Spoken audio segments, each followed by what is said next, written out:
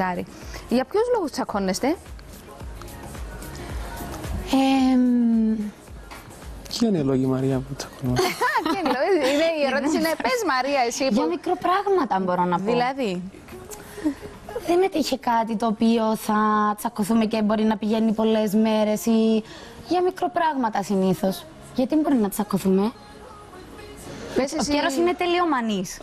Μπορεί για να καταλάβεις να τσακωθούμε γιατί αυτό εδώ δεν είναι έτσι και είναι έτσι. Ναι. Ε, είναι μικροπράγματα, δεν είναι κάτι σοβαρό. Ε, μ, όμως εντάξει, από την άλλη μπορεί να είναι και καλό αυτό. Πιέρο μου εσύ για ποιους λόγους ε, λες ότι Πρόσεξε τι θα τσακώνεστε. πεις. Εντάξει, η Μαρία θέλει, θέλει πάντα να προγραμματίζω ε, τα σχέδια μου μια εβδομάδα πριν.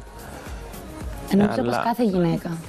Αλλά εγώ δεν μπορώ. Περίμενε Μαρία μου, κάτσε να το ακούσουμε, ναι, για πες. Αλλά εγώ δεν μπορώ μια εβδομάδα πριν, επειδή δεν ξέρω τι θα συμβεί μέσα στη εβδομάδα. Ε, ναι ρε Μαρία μου, ενώ... Αφού δεν Εντάξει, γίνεται. Αλλά- εννοείται για ποια πράγματα μιλάς. Δεν εννοεί για να πάμε απλά να, να φάμε κάπου, πρέπει να το... Οπουδήποτε Όχι. και οτιδήποτε. Ε, τσακωδίρα, θέλετε Ξέρω, στον τσακωδίρα. αέρα, θέλετε, α, θέλετε να φύγουμε, να σας αφήσουμε να... Εντάξει, ο Πιέρος μπορεί να κανονίζει να πάει ταξίδι και να κλείσει τα εισιτήρια δύο μέρες πριν. Ε, Εσύ τι θέμα έχεις, το με το δύο μέρες πριν; Ναι. Πότε θα προγραμματιστώ; για ποιο πράγμα; Για έναν ταξίδι, λέω π.χ. Τι προγραμματισμό θέλεις να κάνεις για ένα ταξίδι; Οτιδήποτε, η δουλειά σου, το υποχρεώσεις σου που έχεις. Δεν μπορείς να κάνεις ένα ταξίδι και να το αποφασίσει δύο μέρες πριν. Δεν Θέλεις ξέρω, να παιδιά, πάρεις αν το είμαι μισό σπίτι παράλογη. μαζί Ναι, ναι. σου, Μαρία μου, είναι...